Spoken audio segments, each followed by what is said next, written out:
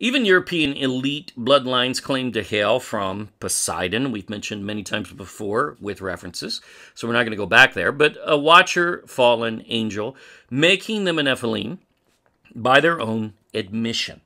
And they believe that gives them the right to divine rule. Oh, wait a minute. No, it gives them the right to be consumed, even in spirit, by eternal fire on the day of judgment, and that's it. They don't belong, and that, my friends, is Nephilim doctrine. It's the same with the Chinese emperors who claim to hail from dragon bloodlines. Who are the dragons? Well, Nephilim. The Bible doesn't have fairy tales per se. Try to debate that here. Be muted. Our channel, our rules. They are an abomination. But today, we don't see giants walking around because of this. But we do find many elites and royals who preserve their bloodlines and wish to dominate over mankind, just as the Nephilim did. It's the same ideology. Many think this is because they are racist, and they are. There's no doubting that. They think that they are, uh, you know, higher beings of sort. That's called racism. Uh, they believe they have the divine right to rule, though. Why? Because of their bloodline. Uh, that is Nephilim ideology. It's not Bible. Uh, it always has been Nephilim and Watcher ideology. Many of them, such as the Merovingian line we've covered before, actually claim to descend from Poseidon, a Watcher fallen angel who fathered ten giant kings or titans from Atlantis. They ruled Atlantis. They were five sets of twins.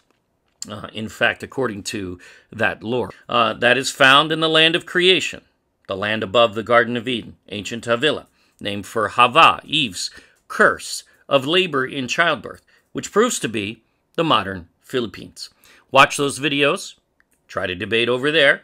Not on this video, as we didn't prove that here, but we cite what we proved over there. Otherwise, be muted, no debate, in ignorance without reviewing our position. Our channel, our rules. Again, try to debate over in that series, Answers in Jubilees, if you care to try, uh, but don't do it here. Our channel, our rules. Yes, the church and scholars ignore it willingly in stupidity. They do not test it. They hang on a few shallow points uh, having never truly read it except to ridicule Jubilees and Enoch especially, uh, which one can do with the Gospels, by the way, and they do. They pit them against uh, each other because they make themselves too stupid to try to reconcile and understand the differences, which are not actually differences, but the poor understanding of things like the Bible calendar versus the Pharisee calendar. They're not sure that there's two calendars. They don't even know that. So they don't even know to ask the simple question before even entering the passage which calendar am I looking at here? Then they offer a complete failure in interpretation because they don't know. They live in willing ignorance. They choose to be. Claiming there was a discrepancy, right? No. They do it with everything because, well, they're not really scholars of the Bible. They are scholars of the occult in most cases. And the giants slew the Nephil, and the Nephil slew the Eljo, or Elyo, really, uh, or perhaps that's elves, who knows, uh, and the Elyo, uh, mankind, and one man another. I mean, when you watch uh, movies like Lord of the Rings, uh, you're, you're literally watching the pre-flood world before the flood. You know, they even talk about a middle Earth, right, which would be up on the continents, uh, because even the ocean floor would be principally dry land with mega rivers, giant rivers worldwide running through them. Watch our Rivers from Eden series. Uh, for more on that, uh, again, try to debate that here without reviewing our position. Be muted. Our channel, our rules. I mean, that's what they say.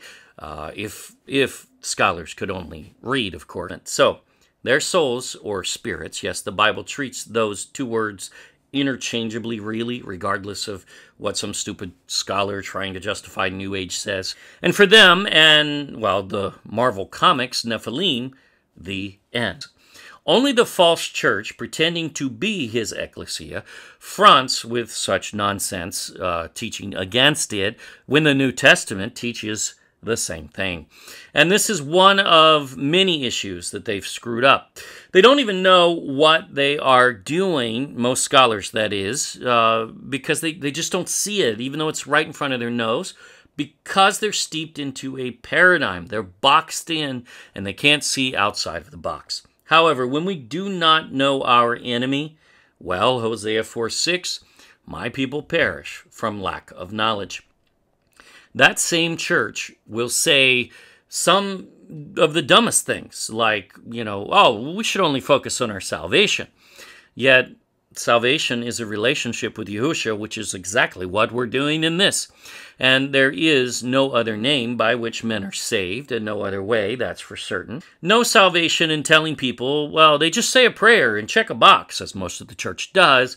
But even John MacArthur, who's supposedly the origin of that doctrine, um, it's idiotic. Uh, of course, that guy also attacks the Sabbath, the biblical law, uh, while claiming to be the minister of the gospel. He's the minister of lawlessness. He is a minister of sin, by definition.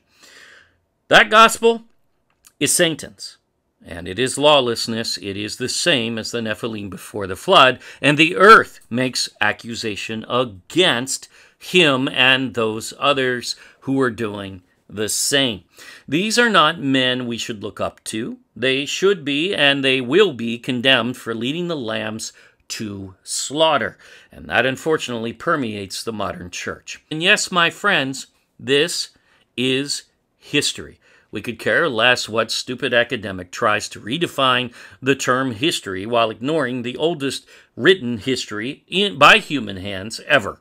That's called Willing Ignorance by Peter 2 Peter 3, and they make themselves fools. That's their decision. It doesn't have to be ours. Are you kidding? Uh, the Bible exposes it. No, no, they're not doing that here.